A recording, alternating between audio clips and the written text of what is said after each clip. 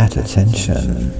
thick and lush trees are standing in the hush of the forests, dappled light standing all day,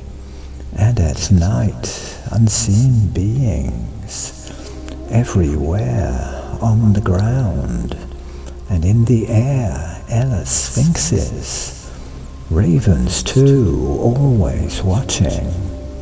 what we do as we wander, as we roam in the forest, in their home when deemed worthy,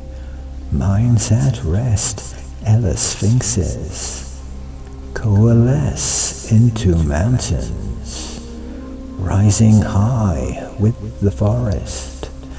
touching sky, eagles soaring, butterflies, Elesphinxes, seeming wise as trees keep standing in the lush forest mountain, as we rush, as we wander, as we roam, feeling welcome. We are home